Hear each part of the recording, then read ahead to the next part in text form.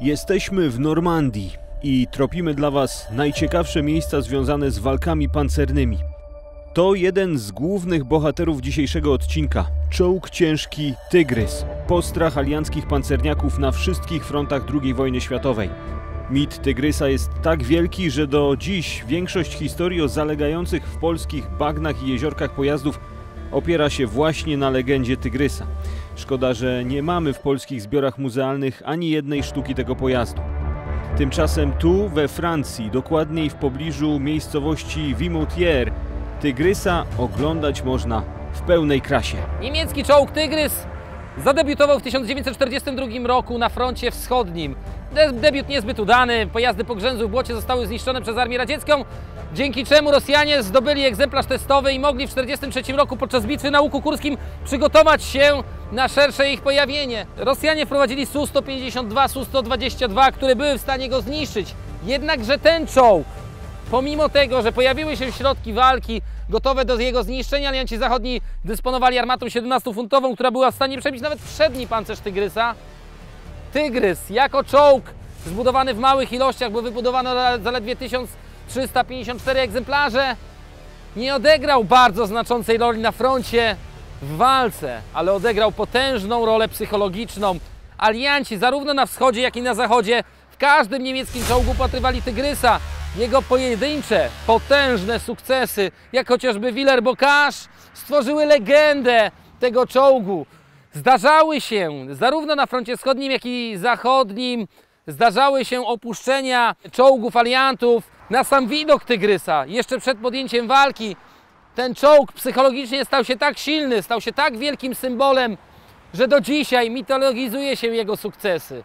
Przedni pancerz 100 mm, bardzo gruby, ale niestety pod małym kątem nie zapewniał pełnej ochrony przed każdą armatą, ale na, zapewniał na tyle dużo bezpieczeństwa załodze i czołg ze swoją 8, 8 centymetrową armatą stał się na tyle silny i na tyle mocny i pokazał kilka bardzo spektakularnych akcji, że stał się legendą. Na jedną z takich legendarnych akcji polujemy właśnie dziś.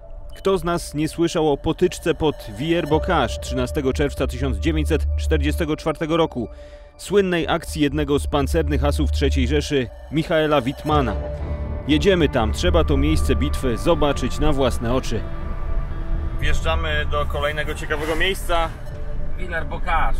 To właśnie tutaj e, na froncie zachodnim Wi- Wittmann urósł z do rangi legendy wraz ze swoim czołgiem Tygrysem. Jedziemy dokładnie tym miejscem, gdzie przyjeżdżały Tygrysy i brytyjskie pojazdy.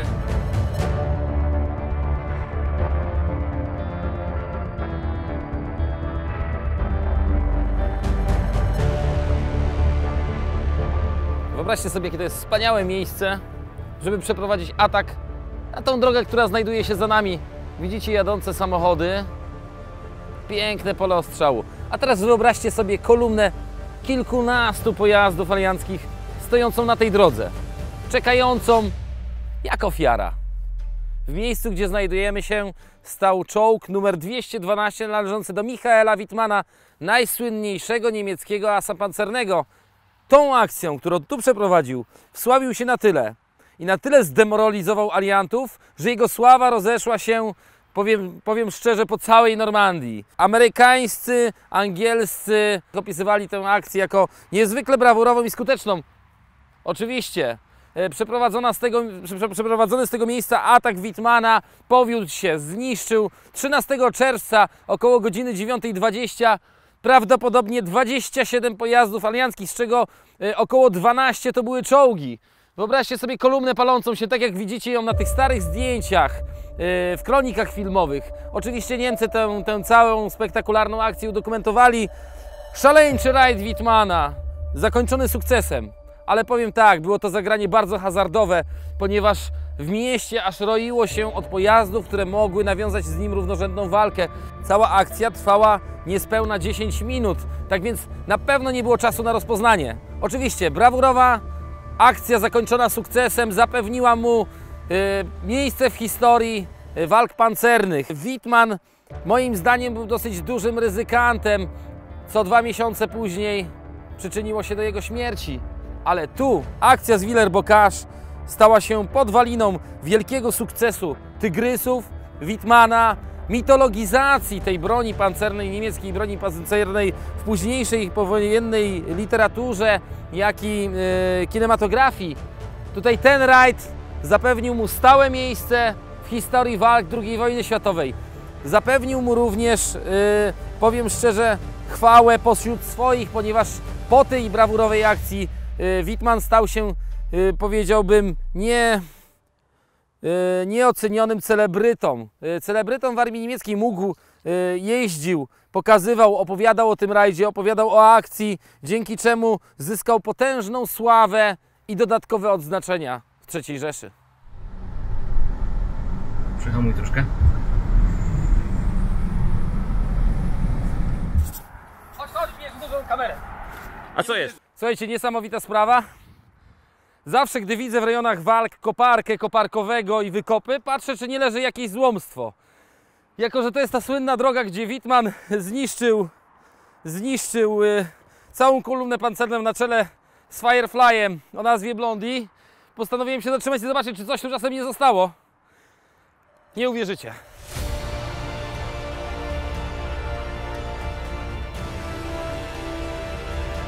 Może to tylko jedno ogniwko. To jest ogniwo do Shermana. Najprawdopodobniej będzie to Blondie.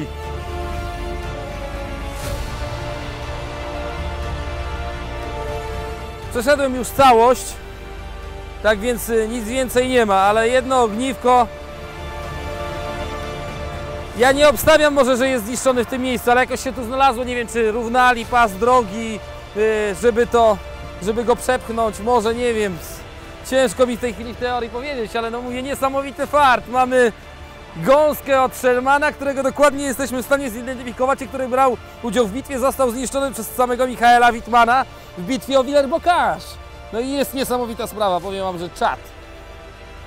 Myślę, że Francuzi nie, obra nie obrażą się, jeżeli zabierzemy im te 10 kilo Shermana. Niesamowita sprawa, powiem Wam, że taki strzał jeszcze czegoś takiego nie widziałem, żeby trafić gąskę do czołgu. No, no nie jest to tygrys Wittmana być może, ale jest to Sherman, który brał udział w tym ataku, który został tu zniszczony. Normandzki z Villers-Bocage. Niesamowita historia. Widać, że trochę już tu leży, bo ta rdza odpada. A wykop pewnie zakończył się w zeszłym tygodniu, bądź też w tym tygodniu, ale koparka jeszcze stoi. Rdza odpada, widać, że, że już dostał powietrza. Ale że no, nikt tego raczej nie rozpoznał. Być może było to gumowe ogniwo, które po prostu spłonęło i nie ma tutaj tej gumy wypełniającej pomiędzy, bo powinna być ona tu łączona. No ale powiem Wam, że jestem pod wrażeniem.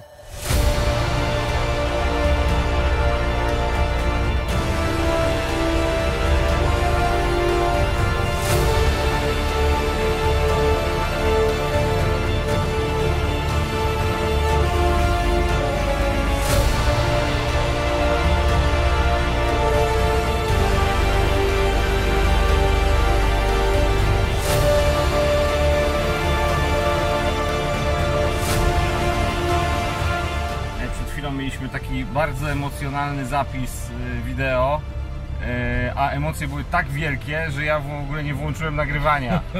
Więc musimy teraz drugi raz to powiedzieć, a już te, te emocje trochę powoli chyba opadają. Ale nie, jeszcze nie, cały czas są.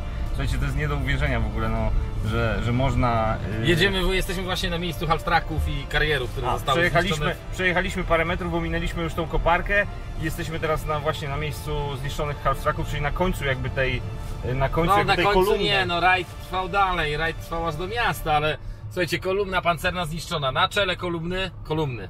Na czele tego oddziału, tego regimentu, jak to niemie, niemiecka propaganda określiła, bo e, przypisano Wittmanowi zniszczenie całego pułku.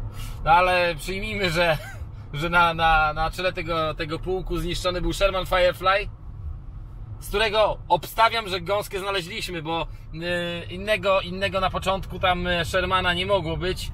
Sherman Firefly o nazwie Blondie. Mamy jedną gąskę, która była wykopana przez pracowników budowlanych podczas remontu drogi, co widzieliście. Niesamowita sprawa. W tej chwili wjeżdżamy do Villers-Bocage i chyba trzeba będzie to uświęcić. Nie wiem, my chyba zjemy jakiegoś kebaba.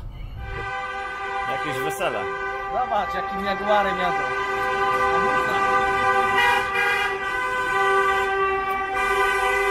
Zaraz po jedzeniu ruszamy dalej, bo tuż obok jest miejsce, gdzie stały dwa tygrysy. Pogoda nie sprzyja, ale humory dopisują. Na szczęście też nie narzekamy. Leje deszcz, więc siedzimy w samochodzie. Tak, stanęliśmy w miejscu takim pewnym, powiem szczerze, bo były tutaj wystawione dwa tygrysy, takie wabiki. Tyger, tygrys 212 i 123. Takie coś. Ale najlepsze jest to, że otwieramy okno, a za oknem leży obcięta szpilka do tygrysa.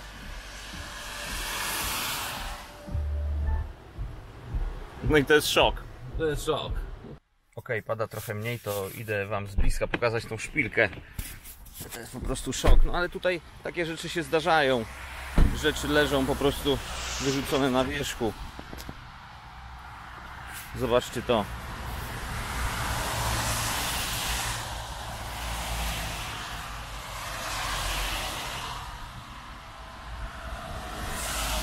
Jak nic szpileczka.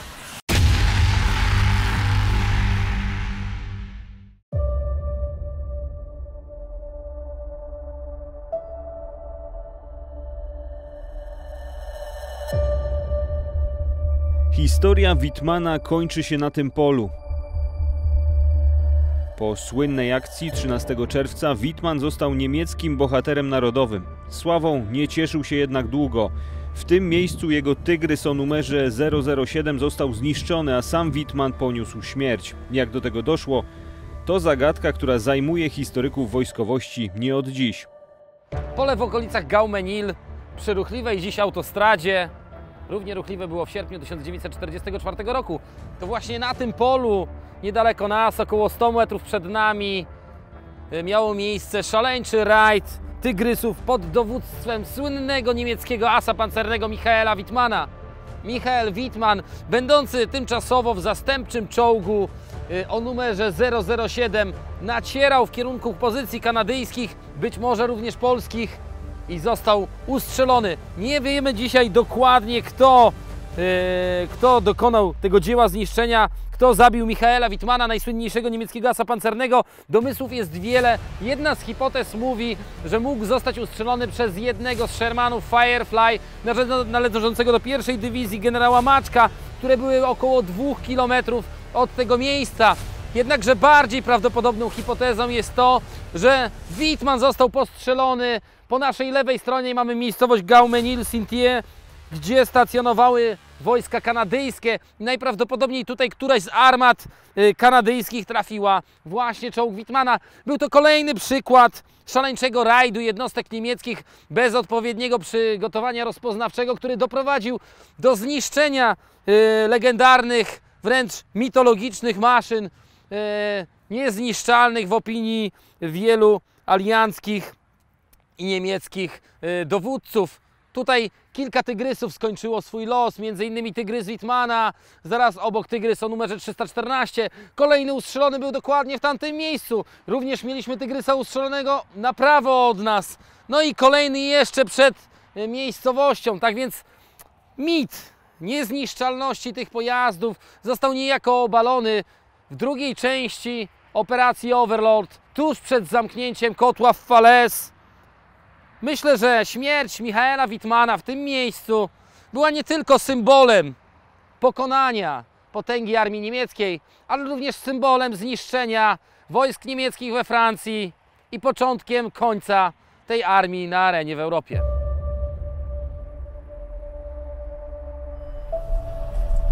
Jednym z ostatnich epizodów operacji Overlord była niemiecka ucieczka przez rzekę Div. Jedziemy więc w kierunku Brodu, którym wycofywały się resztki potężnej armii i na którym skoncentrował się aliancki ogień. Sprawdzimy, czy pozostały jeszcze jakieś ślady po tamtych dramatycznych wydarzeniach. Przyjechaliśmy w ciekawe miejsce.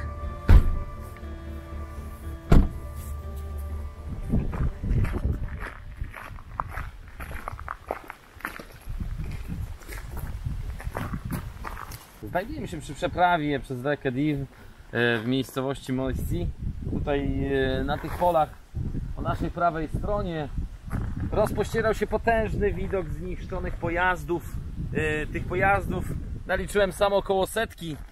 Jako, że był to jedyny brud, którym można było przedostać się przez rzekę, Niemcy szeroko z niego korzystali. Oczywiście rozstawione były działka przeciwlotnicze. Jak jedziemy wzdłuż tej drogi, to widać masę nagrobków lotników, którzy w tym miejscu zginęli, yy, bombardując, niszcząc te pojazdy, które się tutaj pojawiły.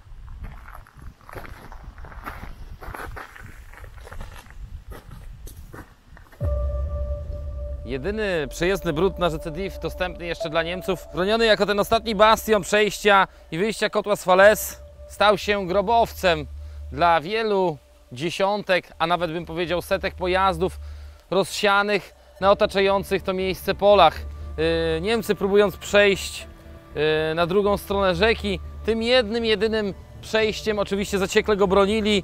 Oku mamy nagrobki, tablice upamiętniające rozbite, rozbite samoloty, które próbowały te kolumny tutaj dziesiątkować. E, oczywiście obrona przeciwlotnicza była tutaj dosyć silna. Próbowano to miejsce za wszelką cenę utrzymać. Tak jak widzimy ten sięgający kolan w dniu dzisiejszym brud stał się jedynym przejazdem, jedynym przejściem dla wszystkich oddziałów uciekających z kotła yy, Trunszambua. To miejsce wraz z maczugą był jakby po, początkiem końca i końcem yy, tego kotła. Tutaj już ostatnie dni, ostatnie dni armii niemieckiej we Francji, yy, przynajmniej tej zachodniej Francji, yy, właśnie dobiegały końca, a jakby spojrzeć na zdjęcia, które zostały, wykonane w, epo, w epoce, robi to piorunujące wrażenie, to co tu się działo, iście dantejskie sceny, yy, taki E, armijny koniec świata.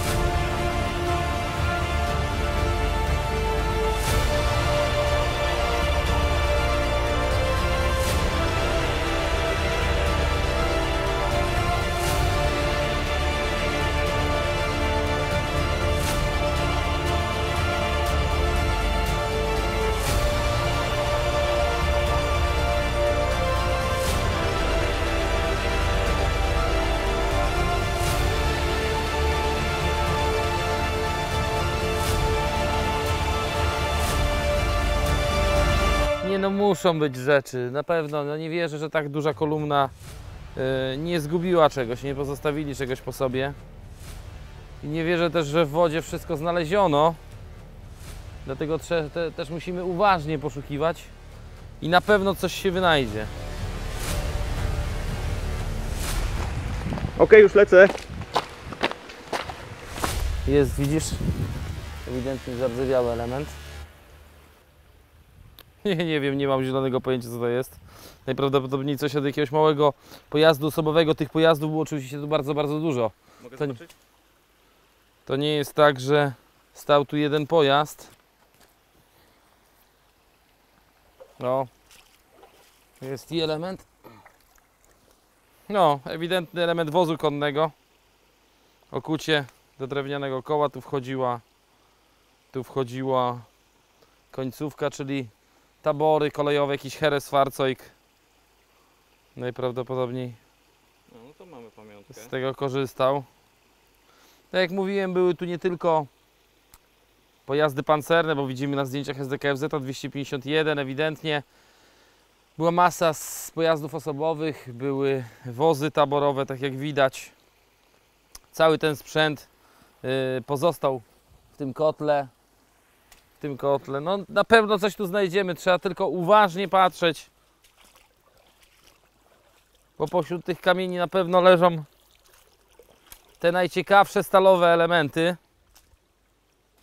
Zobacz, co znalazłem. Korek wlewu oleju do Panzer 3.4, jeszcze taki grubawy, czyli jakiś pewnie wczesny. Może z jakiegoś Mebelwagena. Albo flag pancera, który był przerobiony. No ciekawostka. Bardzo ładny. Nawet dobrze się zachował. Niespecjalnie skorodował. Zakończyliśmy już tutaj poszukiwania, powiedziałbym, drobnych elementów, które miały, e, miały tutaj zostać pozostawione, poz- pozostały po, po uchodźcach, bym tak powiedział, z kotła. E, a teraz sprawdzimy, jak przyjeżdża się naszym samochodem przez taki brud. I sprawdzimy, jakie kłopoty mogły mieć pojazdy niemieckie, które tędy uciekały. Zaraz zobaczymy, jak ta armada pojazdów radziła sobie z przejazdem. Nasz samochód jest oczywiście uterenowiony, także powinien sobie z tym poradzić, w razie czego mamy wyciągarkę z przodu, więc nie jest to jakieś potężne ryzyko, jak gra w ruletkę. I Amarok widać poradził sobie z tym doskonale. W końcu to Volkswagen. Nasza normandzka wyprawa powoli dobiega końca, ale na koniec właśnie zostawiliśmy sobie najlepsze. Jedziemy w kierunku Falaise, miejsca, które zapisało się w historii polskiego oręża. Jeden z kolejnych odcinków będzie odcinkiem specjalnym, poświęconym właśnie tej bitwie. Zostańcie z nami i wspierajcie nasze działania. Zajrzyjcie koniecznie na nasz profil facebookowy i na Instagrama. Do zobaczenia. Jeżeli odcinek Wam się podobał, prosimy Was o wsparcie naszego projektu. Jesteśmy na Patronajcie, zerknijcie tam koniecznie. Możecie nam pomóc również w inny sposób, udostępniając nasz materiał na platformach, które lubicie. Uprzejmie dziękujemy.